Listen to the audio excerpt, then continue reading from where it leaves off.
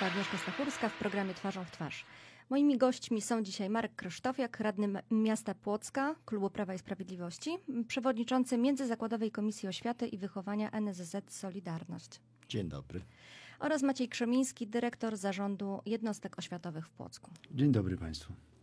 Tematem dzisiejszego spotkania będzie sytuacja w płockiej e, oświacie. I na początek takie krótkie podsumowanie placówek e, w Płocku. Mamy tutaj 25 przedszkoli, 16 samodzielnych szkół podstawowych, szkołę podstawową numer 24 specjalną, ogólnokształcącą szkołę muzyczną jednego stopnia, jedno samodzielne liceum ogólnokształcące, cztery zespoły szkół ogólnokształcących, w skład których mogą wchodzić szkoły podstawowe, gimnazjum i liceum i y, ogólnokształcące, pięć zespołów szkół zawodowych, dwa specjalne ośrodki szkolno-wychowawcze, dwie poradnie psychologiczno-pedagogiczne, młodzieżowy dom kultury, harcerski zespół pieśni i tańca dzieci Płocka oraz bursę płocką. Trochę tego jest. E, ogółem liczba oddziałów wynosi 910, a uczęszcza do nich około 20 tysięcy uczniów. W placówkach tych pracuje 2568 nauczycieli i to jest w przeliczeniu na pełne etaty 340 pracowników administracji oraz 813 pracowników obsługi w przeliczeniu na pełne etaty. I to właśnie w sprawie wynagrodzeń pracowników administracji i obsługi została na początku listopada e, zwołana nadzwyczajna sesja Rady Miasta Płocka.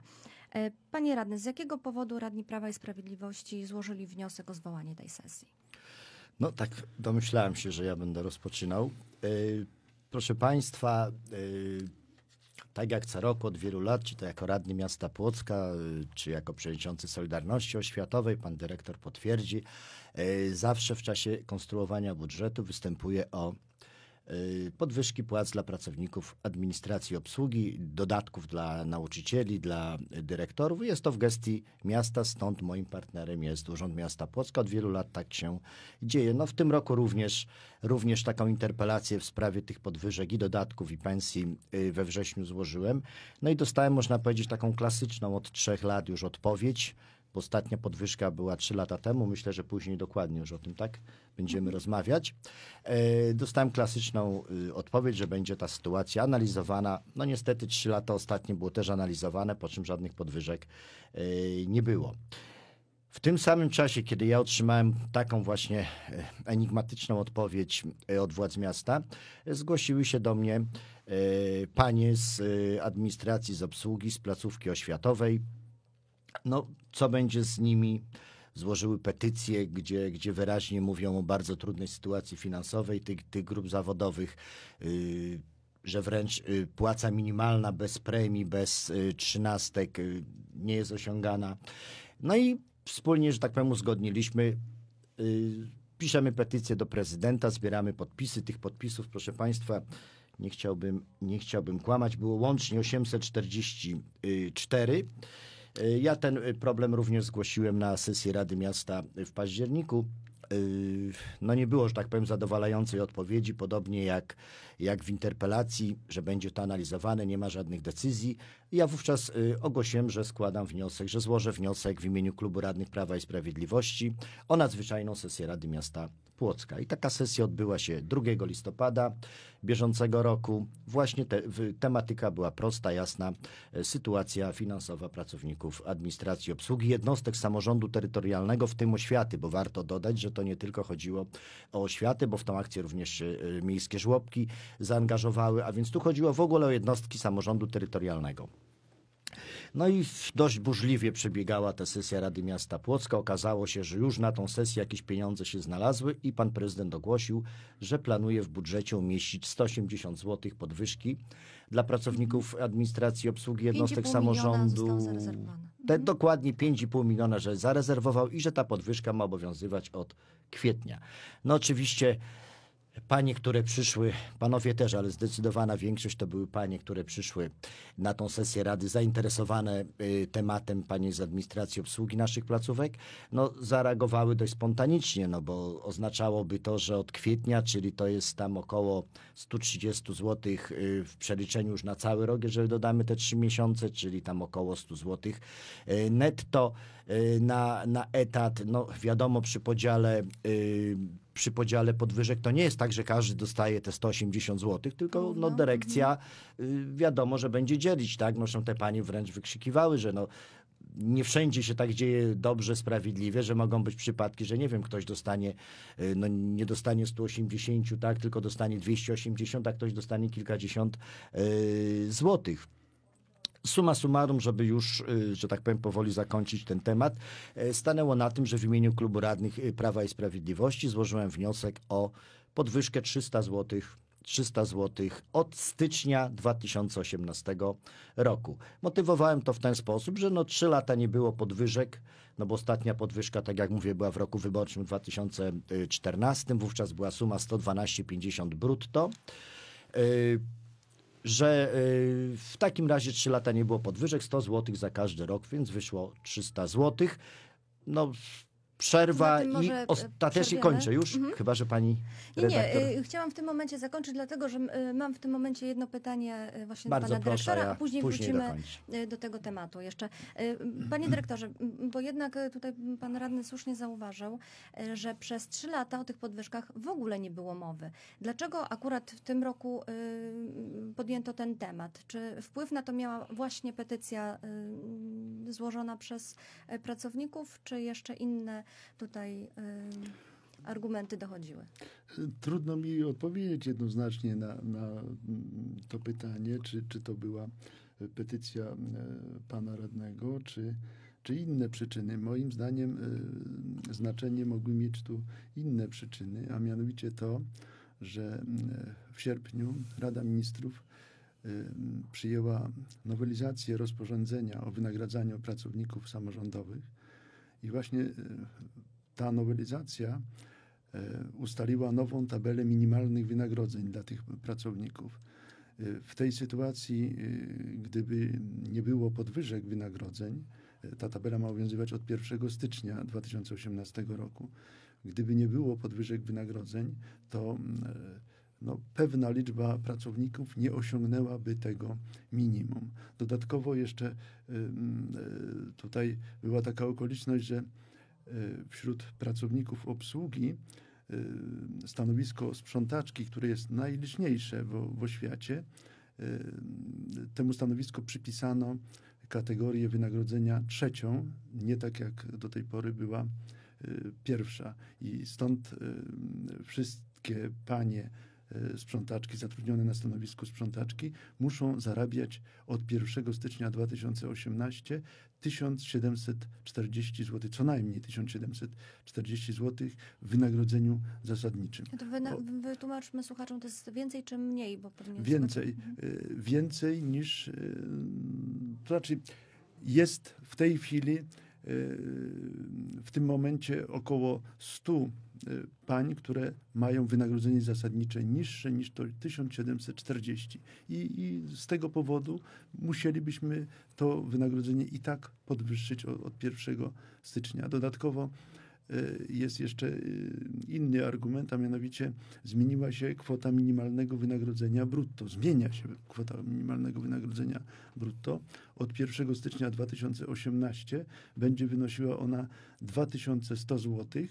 Y, Tymczasem w tej chwili wynosi ona 2000 zł. Inaczej mówiąc, m, każdy pracownik y, zatrudniony y, w samorządzie musi zarabiać, zresztą nie tylko w samorządzie, w budżetówce, musi zarabiać co najmniej 2100 zł brutto od 1 stycznia 2018. Czyli trzeba spełnić równocześnie dwa warunki. Mianowicie ten wynikający nowelizacji rozporządzenia Rady Ministrów o wynagradzaniu pracowników samorządowych, ustalających nową tabelę wynagrodzeń oraz ten e, przepis, który ustala kwotę minimalnego wynagrodzenia dla brutto dla każdego pracownika. I tutaj e, przy tej okazji e, uważnie słuchałem, co, co mówił mój przedmówca. Chciałem sprostować, że nie ma takiej możliwości, żeby jakikolwiek pracownik nie otrzymywał tej kwoty minimalnej, która teraz wynosi 2000. Nie ma takich sytuacji, żeby żeby... mm, Ale ja nie mówiłem, że nie otrzymuję, mówię, że z trzynastką, To znaczy z premią ma- otrzymuję, ale gdyby nie ma, ma, trzynastkę nie ma premię, powodu w tym momencie nie do było tego, żeby minimalnej. wyrównywać, bo Ja o w tym przypadku, powiedziałem. gdyby komuś wypadło mniej niż 2000 zł, to musiałby Jasne. otrzymać kwotę wyrównawczą. W tej chwili nie ma takiej sytuacji, nie musimy nikomu wyrównywać do kwoty 2100 Dokładnie te pani w petycji pisały, że bez premii, bez trzynastki one by nie tak, osiągały ale to są kwoty wszy- minimalne. One nie, nie mówi, że nie otrzymują. To są wszystko wyrównanie. Składniki wynagrodzenia. Wynagrodzenie zasadnicze, premia, dodatek stażowy i inne jeszcze dodatki funkcyjne. No tak, ale to są wszystko składniki płaca wynagrodzenia, które sumują się tego. na wynagrodzenie brutto. Bez tego które nie powinno. może być niższe teraz 2000, a od 1 stycznia Chyba już 2018 obecnie jest mm, nie może być niższe niż 2100 100 zł. zł, tak. E, Ale wspominał Pan, że mm, te przepisy obydwa mm, miały wejść od 1 stycznia, czy wejdą od Wejdą, 1 wejdą, stycznia one już wejdą. 2018. Więc dlaczego pierwotna propozycja wynosiła e, kwiecień 2018 podwyżek? Trudno mi na ten temat dyskutować, ale myślę, że, że y, władze miasta w tym czasie, kiedy pojawiła się ta pierwsza y, podwyżka, pierwsza propozycja podwyżki, analizowały szczegółowo sytuację wszystkich pracowników y, samorządowych zatrudnionych w płockim samorządzie. I prawdopodobnie z tych analiz y, wyszedł taki wniosek, że trzeba to zrobić już od 1 stycznia. To tutaj już wrócimy do tego, co pan e, Marek powiedział. E, Pan radny zaproponował e, 300 zł podwyżki. I zaraz wytłumaczę, wytłumaczę Dlaczego- dlaczego, dlaczego od kwietnia, jednak od stycznia. Y, 300 zł zaproponowaliśmy. Do czego pan prezydent się odniósł na ostatniej sesji Rady Miasta? Tak, ale to no jeszcze dokończę może przebieg tej nadzwyczajnej sesji, bo, bo to jest ciekawe, no i również ma wpływ na to, co się dzieje aktualnie. Po przerwie okazało się, że wszyscy radni z wszystkich klubów jednogłośnie przegłosowali e, ten, e, ten nasz, naszą propozycję, bo tam jest, e, no niestety, niestety jako Rada Miasta nie możemy zobowiązać prezydenta, tylko możemy no, prosić go, by on taką sumę wprowadził do budżetu.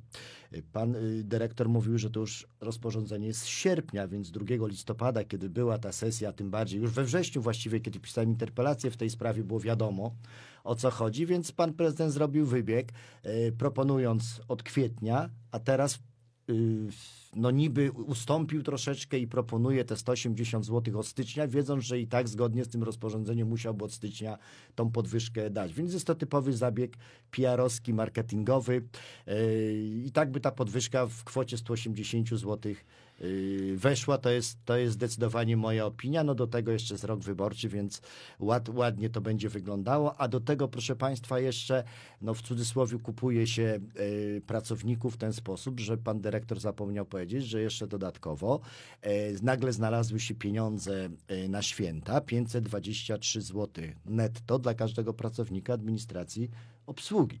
Więc we wrześniu miałem odpowiedź, że no nie, będą analizować, nie ma, nie ma pieniążków. Zresztą e, nauczyciele, dyrektorzy nie otrzymali żadnych podwyżek dodatków, co jest w gestii miasta. To jest jeszcze temat e, następny. Ale no tutaj nagle się znalazły nie tylko pieniążki 180 zł od stycznia, ale również 523, świąteczny taki prezent od pana e, prezydenta. Znaczy ja, ja tylko mogę powiedzieć tyle, że no, w tym czasie, kiedy była podejmowana od, e, decyzja o podwyżkach, o terminie, w ogóle dyskusja na ten temat, to, to wtedy trwały jeszcze analizy i rzeczywiście mogło się zdarzyć tak, że, że władze miasta nie dysponowały jeszcze pełną informacją na temat sytuacji poszczególnych pracowników. To wtedy to przygotowaliśmy, my to przygotowaliśmy również, tak jak inne jednostki i wiem, że, że mogło się tak zdarzyć, że jeszcze e, e, moi przełożeni nie znali e, sytuacji poszczególnych pracowników, że trzeba zrobić tak, jak e, postanowiono. Jeśli chodzi o, o, o tą nagrodę świąteczną e, wynoszącą 750 zł brutto, e, a Ja rzeczywiście netto. 523 każdy z pracowników dostanie do ręki. Pewnie to jest pokłosie też tej analizy wynagrodzeń e, pracowników samorządowych w mieście. Sądzę, że, że to z tego wynikało, że, że no, po prostu w tej sytuacji uznano, że e, dobrze będzie, jeśli ci najmniej zarabiający dostaną jakieś dodatkowe e, pieniążki na, na No i znowu muszę niestety się nie zgodzić z panem y, dyrektorem y, i z jego wyjaśnieniami, bo proszę państwa, no skoro y, pracownicy we wrześniu informowali mnie, zbierali podpisy i wiedzieli, że nie osiągają płacy minimalnej bez, bez premii, bez trzynastki. E, Więc nie sądzę, żeby zarząd jednostek kierowany tyle lat przez pana dyrektora nie wiedział. Panie dyrektorze, za bardzo pana cenię, jeżeli chodzi o kierowanie zarządem jednostek, żeby pan nie wiedział, że są pracownicy już ja, we ja wrześniu. wiedziałem, ale, ale niekoniecznie ta wiedza... No więc to jest, to jest pierwsza sprawa. Druga sprawa, y, na tej nadzwyczajnej sesji 2 listopada, nie wiem, czy pani redaktor uczestniczyła, ale y, pan skarbnik, pan prezydent Nowakowski wyraźnie mówili, że miasta nie stać, żeby to było od stycznia, bo wtedy ta kwota 5,5 miliona, o której pani redaktor mówiła, wzrastała już do 7,5 miliona. No i ona teraz wzrosła. I wzrosła do 7,5 miliona, plus te 750 brutto świąteczne, to ile to jest pieniążków, panie dyrektorze? No, Sporo. Około. 750 razy 1500. Przyznam, yy, Ponad w, milion? samej, w samej oświacie, prawda? Ponad milion. A ja myślę, że tak, Z że to będzie punktu ponad milion. Czyli proszę pani redaktor, o co mi chodzi? 5,5 miliona to był szczyt marzeń 2 listopada, był 7,5 miliona będzie za dużo, a tu się okazuje, że będzie około 9 milionów Ale razy chciałem- i się znalazło. Chciałem zwrócić uwagę na to, że na ostatniej sesji pan skarbnik y, wspominał o tym, że e, w ostatnich miesiącach znacznie zwiększyły się wpływy podatku CIT dla, dla miasta i, i w tej końcówce roku miasto rzeczywiście dysponuje znacznie większymi środkami niż zwykle dysponowało. Panie dyrektorze, ja 2 listopada dokładnie to samo mówiłem skarbnikowi i prezydentowi. Tłumaczyli, że nie, no skoro chwalimy się miliardowym budżetem y, miasta, więc naprawdę 2-3 miliony w jedną, w drugą stronę, jeżeli się chce, to nie byłoby problemów, ale to ja nie chciałbym też się ograniczyć tylko do tej sprawy. Na tą chwilę, proszę Państwa, y, sytuacja wygląda w, tej, w ten sposób, że ta nagroda świąteczna ma być, plus jest y, w projekcie budżetu 180 zł od stycznia, co wymógł, wymogło to rozporządzenie, o którym Pan Dyrektor mówił. Tak, i, i to, to będzie podwyżka e, tak zorganizowana, żeby w miarę możliwości większość, e, znaczy prawie wszyscy pracownicy otrzymywali podobną kwotę. Pewnie jakieś drobne różnice będą, ale e, no, zamierzamy ją tak wdrożyć, żeby odrębne limity środków były dla pracowników obsługi i odrębne limity środków dla pracowników administracji, żeby nie było tak, jak tu wspominał pan, pan przewodniczący, że, że jedni e, kosztem drugich e, z, z tych podwyżek. I, i, i e, no, myślę, że wszyscy dostaną zbliżoną kwotę do 180 zł. Pewnie to będzie zależało od, od e, rodzaju wykonywanej pracy, od, od stażu pracy, od, od e, zaangażowania pracownika, ale nie myślę, żeby były jakieś duże dysproporcje między kwotami tych No ja się obawiam, bo jednak, jednak y, no nie ma chyba możliwości rozkazania w cudzysłowie dyrektorom, żeby dać, nie wiem, jednakową kwotę wszystkim pracownikom. Dyrektor uznaje, kto, komu ile przydzielić tej kwoty. Gdyby to było te 300 zł, o, których, o które wnioskowaliśmy, byłaby całkiem inna możliwość dla dyrektora i całkiem inna suma wówczas y, podwyżek dla, dla poszczególnych pracowników, no bo w ramach 180 brutto, no mówię, podliczając to wszystko, to nie są jakieś duże pieniądze i tu raczej no nie, nie wierzę, że pan dyrektor czy pani dyrektor w placówce no będzie jednakowo dawała wszystkim, nie wiem, kierownikowi administracyjnemu i również pani pani woźnej na przykład. Więc ja tu obawiam się, że to, co pracownicy zgłaszają, że niestety będą placówki, które no tak te dysproporcje będą bardzo duże. To znaczy, myślę, że rzeczywiście pewnie tak, tak do, było, dokładnie równo nie, nie będzie. Y, Zgadzam się również z panem, że lepiej byłoby dać 300 niż, niż 180.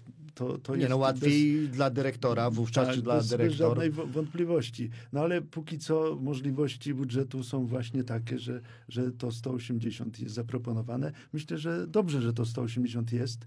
Może w przyszłości będzie więcej. Y, Tego nie wiem. Pewnie będzie to zależało od wielu innych y, okoliczności. Przede wszystkim od tego, jak finansowana będzie oświata z budżetu państwa, bo nie zapominajmy o tym, że większość środków na utrzymanie oświaty pochodzi z budżetu państwa i w zależności od tego, jakie y, to środki docierają do, do miasta na utrzymanie placówek oświatowych, tak y, miasto może je wydawać. I, i no, nie może być y, sytuacji, w której pracownicy będą zarabiali, mm, y, będą mieli bardzo wysokie wynagrodzenia w sytuacji, kiedy finansowanie z budżetu państwa jest słabe. A, a no właśnie takie ma miejsce w roku tym bieżącym, 2017, kiedy otrzymaliśmy y, mniejszą subwencję niż w roku 2016. A subwencja to, to, jest, to jest kwota na utrzymanie oświaty. Ona powinna wystarczyć. Absolutnie nie wystarcza, bo y, żeby utrzymać całą oświatę, miasto musi dokładać corocznie kwoty rzędu 120 milionów złotych do, do, do tej subwencji, żeby móc je utrzymać, a teoretycznie z ustaw to wynika, że to jest zadanie państwa. W sytuacji, kiedy państwo nie daje takich pieniędzy, jak należy, no to wtedy jasne jest, że y, samorządy muszą uzupełniać te środki własnymi. I, i, I taka sytuacja ma miejsce. Mam nadzieję, że w przyszłorocznym budżecie subwencja będzie odpowiednio wyższa, bo ona powinna mieć związek między innymi z wynagrodzeniami nauczycieli. Ja nie wiem, czy rozwijać w tym momencie temat No może nie, bo to wejdziemy Może zaraz będziemy tak, tym no mówić, właśnie, ja prawda? tutaj tylko mogę powiedzieć w ten sposób, no subwencja, z tego co pamiętam z komisji wyjaśnienia pana dyrektora, subwencja idzie za ucznie, mamy mniej uczniów, a więc i subwencja się zmniejszyła. Z tego co na ostatniej komisji słyszałem od pana skarbnika, y, planowana na przyszły rok jest o chyba 4 miliony wyższa y, subwencja. No ja nie wiem, czy tutaj no, chciałbym rozwijać wątek teraz no, subwencji rządowej. Spotkaliśmy się tutaj bardziej dyskutować o y, problemach oświaty, nie No, tylko finansowych, Ale to na się poziomie.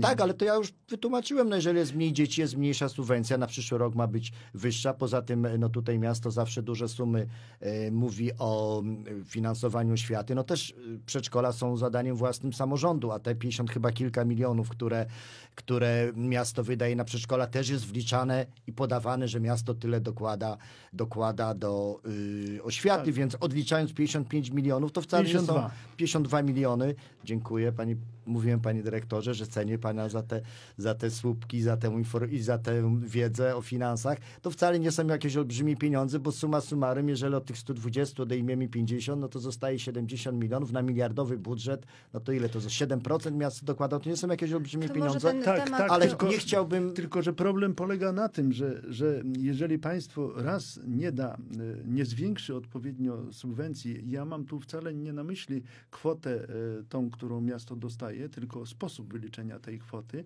czyli kwotę przypadającą na jednego ucznia. Rzeczywiście w Płocku było w gminie y, w zadaniach gminnych, bo, bo subwencja do, na miasta przychodzi w dwóch częściach, w części gminnej i w części powiatowej. Mhm. Y, y, tej, m, tych uczniów było mniej, ale y, to nie o to chodzi, że, że było uczniów mniej i dlatego mniejsza subwencja. Gdyby tak tylko było, to, to byśmy tutaj nie, nie zabierali głosu w tej sprawie, ale okazało się, że minister edukacji zarządził y, na początku tego roku podwyżkę wynagrodzeń nauczycieli, chociaż pan, pan przewodniczący mówi, że to nie podwyżka, tylko waloryzacja. Jednak była to dlaczego. podwyżka 1,3%. 40 To- zł brutto. To jest niby drobna podwyżka. kwota, ale dla miasta to oznacza y, ponad y, 2 miliony więcej wydatków w danym roku budżetowym. I w ślad za taką podwyżką, która jest podwyżką ministerialną, przez ministra z- zarządzoną, powinny, powinien y, rosnąć y, tak zwany standard finansowy na ucznia, który służy do wyliczenia subwencji oświatowej. Jeżeli ten standard nie rośnie w takim stopniu, jak rosną wynagrodzenia nauczycieli, to wtedy samorząd zaczyna coraz więcej do, dokładać. I tak ma miejsce właśnie w tym roku, że podwyżka była 1,3%.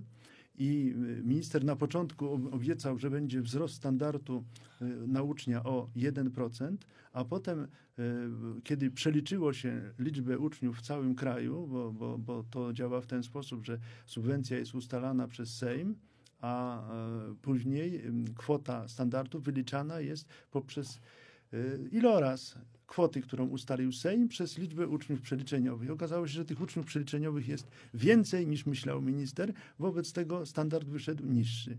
No i, i zamiast tego 1% wzrostu był 0,28 setnych procenta wzrostu. Niby nie, niewiele, ale dla, dla miasta to jest półtora miliona złotych. To półtora Niewiele. miliona złotych nie dostaliśmy w tym roku, nie dostaniemy go już w następnym i w kolejnych latach. Ciągle to półtora miliona będziemy musieli dopłacać, bo te wynagrodzenia już są podwyższone i one zostały. To, to, to działa tak jak y, śnieżna kula, prawda, że to, się, to będzie dalej y, No to ciążyło na, na, na finansach pośle. miasta. Tak, ale mm, tak, Można się odnieść, no bo muszę tutaj się odnieść, e, bo nie chciałbym też, tylko widzę, że będziemy jednak o finansach tylko rozmawiać. Proszę Państwa, e, fakty są takie, że ostatnia podwyżka dla e, nauczycieli, jeżeli chodzi o podwyżkę min- ministerialnej, pan dyrektor mówi, to miała miejsce w 2012 roku. W 2017 roku te 1,3% to po prostu była waloryzacja za inflację, bo tyle wynosiła inflacja, więc nie można mówić o podwyżce, jeżeli inflacja jest 1,3, ja dostaję 1,3. Gdyby to było 4,3, no to można powiedzieć 3% powyżej inflacji. Stąd między innymi Solidarność też teraz się sprzeciwia tym planom e, ministerialnym, e, 5%, żeby od kwietnia dać tak zwanej podwyżki, no bo jeżeli planowana inflacja jest 2,5%, no to, no to znów trudno mówić o 5%, to jest tylko 2,5%, 5 lat nie było podwyżek, ale już nie chciałbym z kolei wkraczać na, na to pole, bo tutaj pan e, dyrektor, że tak powiem, w ogóle nie będzie zainteresowany tymi, e, tymi sprawami, więc absolutnie tu się nie zgodzę, że jest to podwyżka, jest to tylko waloryzacja i kwestia i podwyżek płac e, nauczycieli na szczeblu ministerialnym i dodatków na szczeblu miejskim, co też jest z kolei w gestii samorządu. To jest sprawa całkowicie otwarta, panie dyrektorze i pani redaktor. Tylko, że niezależnie od tego, czy to się nazywa podwyżką, czy waloryzacją, ktoś musi płacić te pieniądze. Ja, ja to widzę, bo, bo, bo my fizycznie wykonujemy te czynności i wiem, że to kosztuje więcej. I, i nieważne, czy to nazwie się waloryzacją, czy, czy podwyżką. To jest To- inna to jest sprawa. dwa Pieniądze miliony muszą się złotych. znaleźć. Ale panie dyrektorze, tutaj bazując na tym, co pan radny powiedział o pana wiedzy na temat finansów, chciałabym dopytać, e, nawiązując do interpelacji właśnie pana radnego. W placówkach integracyjnych pracownicy obsługi mają dodatek e, 10% za zwiększony zakres obowiązków. E, Dlaczego ten dodatek jest wliczany do tych podwyżek, które mają być od stycznia 2018 roku? Bo w ten sposób wychodzi, że pozostali pracownicy mają podwyżkę 180 zł faktycznie brutto, a ci pracownicy akurat y, ten dodatek mają wliczony, czyli dostaną mniej o ten dodatek. To wynika po prostu z takiego nieporozumienia. To nie jest żaden dodatek, bo o, pracownicy samorządowi mają skończoną liczbę składników wynagrodzenia określoną w przepisach, w ustawie, w rozporządzeniu. Nie mogą mieć więcej składników wynagrodzeń niż, niż jest to określone w przepisach. To jest po prostu premia, którą dyrektor przyznaje tym pracownikom. I y, premię przyznaje się na zasadach takich, jakie są określone w regulaminie, w regulaminie wynagradzania. I jeśli dyrektor daje komuś wyższą premię, to, no to jest jego sprawa, ma, ma prawo. Każdy dyrektor może przyznać premię pracownikowi w wysokości od 0 do 40%. I rolą dyrektora jako pracodawcy jest ustalanie takiej wysokości premii, żeby odpowiadała zaangażowaniu, nie wiem, kompetencjom pracownika czy zadaniom, które on w danym momencie wykonuje. Natomiast y, kalkulujemy środki na, na wynagrodzenia i na podwyżki standardowo dla wszystkich, bo proszę pamiętać o tym, że w oddziałach integracyjnych to są pracują tacy sami pracownicy, jak w innych oddziałach. Ale Ustawodawca, zakres obowiązków Tak mają jednak większy zdecydowanie. przepraszam, w oddziałach, które nie są integracyjnymi, nie ma takich pracowników. Oni są specjalnie po to za, zatrudnieni w tych oddziałach, żeby wykonywać te obowiązki. Ale czy w związku z tym mają wyższe wynagrodzenie? To zależy od dyrektora, jak to wynagrodzenie jest ustalone i my w to nie ingerujemy. Rola dyrektora jest taka, że to on ustala wynagrodzenia w ramach obowiązujących przepisów. Ustawodawca nie przewidział żadnych dodatków za prowadzenie, za pracę w oddziałach integracyjnych dla pracowników obsługi i administracji w placówkach oświatowych. Nie ma takich To co dodatków. to jest te 10%? To jest dodatkowo, to, to jest 30% premii zamiast średnio 20 i tyle. No tak, ale ci pracownicy mają zagwarantowane te 10%. Tak Nie de facto. To, to jest zagwarantowane pewnie. Panie to- dyrektorze, to, jak pan to, powie, że nie wie, to stracę dobrą Nie, nie, opinię nie. panu dyrektorze To- jako ministrze finansów jest, oświaty to nie jest To nie jest zagwarantowane, tylko to jest utrwalone e, e, no, e, przez tradycję jakąś długą, że zwykle No dostawali więc tradycja to. rzecz A- a to nie jest święta za- i można by zapewnienie. iść tropem mojej interpelacji tego, co powiedziała pani y, redaktor, że można by wziąć pod uwagę również taką sytuację, bo to tak zaistnieje, panie Więc dyrektorze. nic nie Tradycyjnie stoi na, tak Nic zaistnieje. nie stoi na przeszkodzie. Nigdy y, takie dodatki nie były przez, y, no właśnie, zaczynam mówić tak samo. Nigdy te wyższe premie No bo nie to jest były tak, przez bo to nas jest tradycyjny dodatek i tak jest traktowany. Nigdy przez nas y, to nie było kwestionowane i rolą dyrektora jest ustalić, że, że ten pracownik ma większą premię, a, a inny ma tylko 20%, czy, czy ma 10%. To, No to tak, ale, ale każdy dyrektor dostanie 180 na etat. Czy, ma, czy jest integracja, czy nie ma? Bo to ale, o to tak naprawdę Ale chodzi. proszę zrozumieć, że ci pracownicy, gdyby nie było integracji, to by w ogóle nie byli tam zatrudnieni. To jest dla nich normalna praca. To, to nie jest coś takiego, że w każdym oddziale jest pracownik e, obsługi i obsługuje go, a, a, w oddziale integracyjnym jest też tyle samo i, i, i on dos, musi dostać wyższe wynagrodzenie. Gdyby tak było, to się z tym zgadzam. Ale w oddziałach masowych nie ma takich ludzi. Czyli O- rozumiem, Oni są że ten specjalnie, to jest argument- normalna praca. Czyli ten argument nie będzie brany pod uwagę, rozumiem, nie ma szans na to, żeby tutaj dołożyć troszeczkę pieniążków, żeby te 10% jak gdyby wyłączyć z tych To, 180. to znaczy, y, y, wiem, że, że środki na, na, na podwyżki są skalkulowane. Czy będą jakieś korekty? Nie wiem. Trudno mi powiedzieć, ale raczej nie. Panie radny, pan wynagrodzeniami pracowników oświaty zajmuje się już y, bardzo długo y, z racji no, swoich obowiązków, y, pewnie również, ale i, i zamiłowań. Jak według pana powinny być zaplanowane podwyżki dla pracowników, generalnie planowane podwyżki dla pracowników obsługi i administracji? E, Czy to powinno być w sposób stały, czy za każdym razem corocznie podczas sesji? Pani redaktor, no odpowiedź jest prosta. Pan y, dyrektor przecież był wówczas również dyrektorem, więc, więc pamięta y, rządy prezydenta Mileskiego, PiSu 2002-2010. Co roku wtedy o 1% wzrastał dodatek motywacyjny. Pewnie, że no nie było tak, dokładnie o 1%. Prawda. Z 2% w 2002 do 10% w 2010 i na 11 y, rok już był zaplanowany budżet jeszcze poprzedniego prezydenta. 11% miał być i to weszło i to weszło troszeczkę później.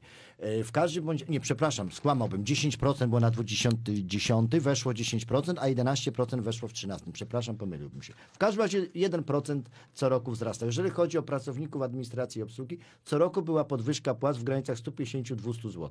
No bo to jest tak, ja bym to uzależnił, chociaż nie wiem, czy tutaj możemy negocjować, na pewno nie możemy negocjować w tym gronie. E, Ja to myślę, że to powinno być uzależnione od wielu czynników, jak chociażby wzrost kosztów utrzymania, inflacji. No można założyć, załóżmy, nie wiem, 5% powyżej planowanej inflacji. Tak jak pan, pan dyrektor tutaj mówi, te 1,30, gdyby to było 6,30, no to już można by tak wtedy powiedzieć, że to jest jakaś tam podwyżka, nieduża, ale jest. Więc, więc tak, to jest proste, bo tak to funkcjonowało, dopóki prezydentem nie został prezydent Nowakowski. I tutaj ostatnia podwyżki, to mówię 2013-14 rok wyborczy, no i teraz przyszły rok wyborczy 18, znowu podwyżki będą. Przez przypadek. Pani się spyta, przez przypadek, tak, w cudzysłowie przez przypadek, pani się spytała, co będzie dalej. No zależy, kto wygra wybory. Prawdopodobnie, jeżeli władza się nie zmieni, no to w 2000, żebym nie skłamał, 21 będzie znów w budżecie jakaś suma na podwyżki w roku 2022, kiedy następne wybory się odbędą, ale obym był złym prorokiem. Ja, ja nie jestem przeciwny temu, żeby były wysokie podwyżki. Zawsze jest lepiej pracować z ludźmi, którzy są dobrze wynagradzani i, i bardzo bym się cieszył, gdyby to było możliwe, żeby, żeby zarabiali oni jak najwięcej. Jako, jako ciekawostkę powiem, że y, 50 przeszło podpisów w sprawie podwyżek płac, że za mało zarabiają. To było z zarządu jednostek oświatowych, panie dyrektorze, bo ten, ten mój wniosek, te, te moje zabiegi również miały dotyczyć wzrost płac y, pracowników zarządu jednostek oświatowych. No pewnie nie pana dyrektora, ale pan dyrektor powiedział przed chwilą, że ci ludzie bardziej y, byliby no, lepiej opłacani, lepiej by pracowali. Pan dyrektor byłby Zgadzam zadowolony, czyli pan Tak. dyrektor, rozumiem, popiera moje działania.